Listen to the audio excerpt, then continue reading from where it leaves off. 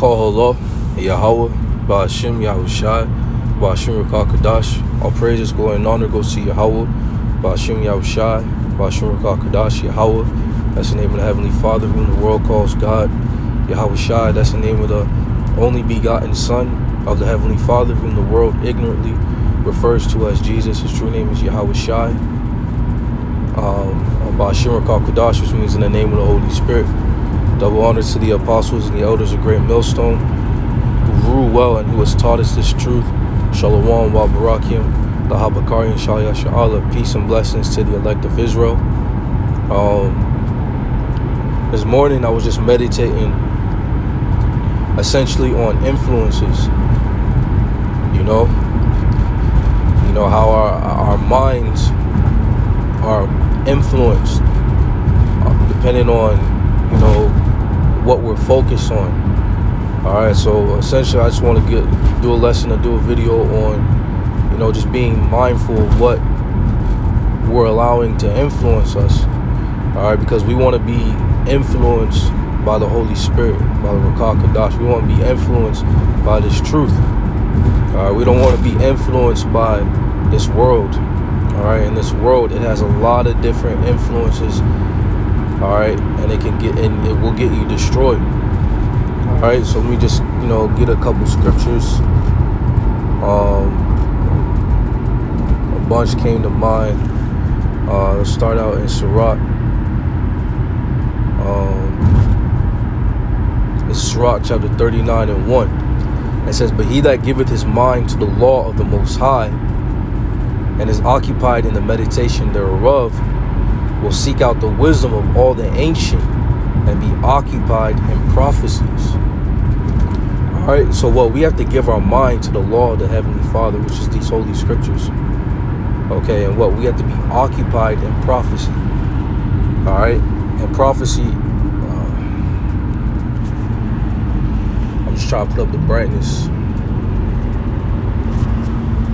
All right. Um, prophecy, we know what prophecy represents. All right, let's get that in Revelation.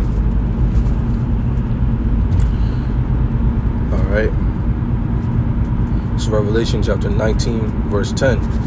It says, And I fell at his feet to worship him, and he said unto me, See that thou do it not. I am thy fellow servant of thy brethren that have the testimony of Yahweh Shai. Worship Yahweh, worship the Heavenly Father. It says, For the testimony of Yahweh Shai is the spirit of prophecy. All right, so what we got to be continually meditating on, on these prophecies, which is found in the Holy Scriptures, which is found in these Word. All right, because then what? We're going to have the testimony of Yahweh. All right? By meditating on these words, essentially we're meditating on Yahweh. All right, and what? If you jump down to verse 13, it says, because this is Revelation 19 is going into the return of Yahweh Shai. All right, but I want to get a particular point. In verse 13, it says, And he was clothed with a vesture dipped in blood, Yahweh Shai, because when Yahweh Shai comes back, like it says in Isaiah 66 chapter, it says, The slain of the Lord shall be many. So Yahweh Shai is going to be, um, he's going to be destroying the majority of the people out here because the majority of the people out here are wicked. Here's the point. It says, and his name is called the Word of the Heavenly Father. So another title for our Lord Yahweh is the Word of the Most High. All right, and that's what we need to be continually meditating on. These words, man. All right, now I want to get this in Psalms. Psalms 119 and the ninth verse. All right, we got to always keep this in mind. We got to always keep these words in mind every single day. Because meditating on these words is what's going to get us saved. It's what's going to keep us, man. It's what's going to keep us from the evil out here. This is Psalm chapter 119, verse 9. It says, Wherewithal shall a young man cleanse his way? It says, By taking heed thereto according to thy word. All right, so we got to be washed and cleansed with this word. All right, just like on a carnal sense or on a physical sense, daily we got to wash our bodies all right we gotta cleanse our bodies because what it's because it's filthy out here all right but what in a spiritual sense even more importantly all right daily we gotta wash ourselves with this word cleanse our body cleanse the house cleanse our spirit All right, I'm gonna read that again. Psalms 119 and 9. It says, Wherewithal shall a young man cleanse his way? It says, By taking heed thereto according to thy word. All right, now let's get another scripture. Let's get Matthew, the sixth chapter. All right, this is Matthew chapter 6 and verse. Um, start verse 21. It says, for where your treasure is, there will your heart be also. So what you find treasure, another word for treasure is is, is valuables or something that you value. All right. So whatever you, what, something that you value, that's where your heart is going to be. So if what you value is is the kingdom of heaven, okay, which is these prophecies, which which are the things that are going to be fulfilled, the things that are to come that's where your heart is going to be. That's where your mind is going to be. Your mind is going to be on these ordinances. Your mind is going to be on these words. All right, but what if your treasure or, or what you value is in this world? You know, different possessions or things that you're trying to obtain in this world. All right, that's where your heart's going to be. And we can't have our heart in this world. All right, we got to constantly fight to get our mind, get our head up out of this world. All right, because this world is uh is enmity with the heavenly father. All right? I'm gonna keep reading. Verse 22 it says the light of the body is the eye. If therefore thine eye be single thy whole body shall be full of light. All right? That eye is talking about your mind's eye which is your brain your conscious what you what you what you're meditating and focusing on that's the light of your body all right if your eye be single meaning if you're single-minded singularly focused on yahweh Ba'ashem Yahweh Shai your whole body is going to be full of light, man. Verse 23 it says, But if thine eye be evil, meaning if you're not singly minded on this truth, but what is on this world, which this world is evil, it says thy whole body shall be full of darkness, and therefore the light that is in thee be darkness. How great is that darkness? All right, we don't want that. We don't want to be full of darkness. We want to be full of light. We want to be beacons of light. All right, because what? If Yahweh is within us, we have that light, man. All right, now let's get this real quick it came to mind. Um,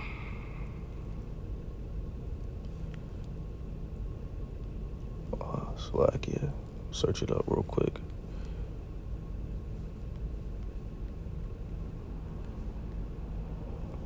James.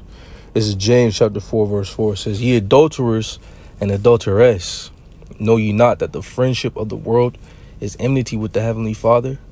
Whosoever therefore will be a friend of the world is the enemy of the Most High. All right, so what? We can't have friendship. We can't be in league with this world. All right, because what? If you're in league with this world, which this world does nothing but exalt wickedness, you're going to be destroyed with this world because the Lord is coming back to destroy this world, man. All right, now let's get a couple more scriptures. Uh,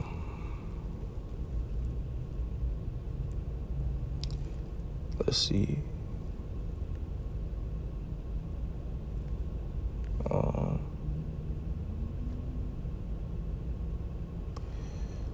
Slovakia, bear with me.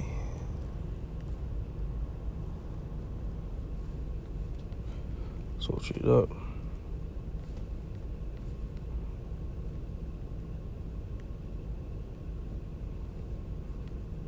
This is First Timothy 4 and verse 13.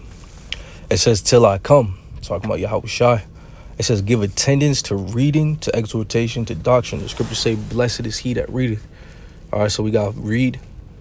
All right, we got read continually. It says, neglect not the gift that is in thee, which is given thee by prophecy. This gift of faith. We cannot neglect our faith. We got to constantly be building up our faith and perfecting it uh, until the until the Lord comes. Because when the Lord comes, that's going to be the end of our faith. With the land of the hands of the presbytery, verse 15, it says, Meditate upon these things, give thyself wholly to them. We got to give ourselves wholly or entirely unto this truth, unto this ministry, unto this faith.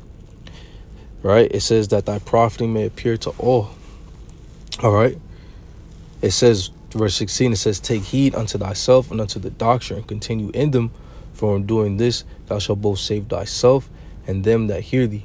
All right, so us continually meditating upon these things, occupying ourselves in this word, washing ourselves with this word. All right, not only is it going to save us, all right, but them that also hear us. Because when you when you get into this word and you believe in this word, you're gonna start speaking this word. You know. Um, but Lord's word is edified. I'm gonna end it right there. I'm gonna give all praise, glory, and honor to Yahweh, Bashim Shai, Bashim Kadash, double honor to the apostles and elders, the great millstone of rule well. Shalom, wa barak, and peace and blessings to the elect. Shalom.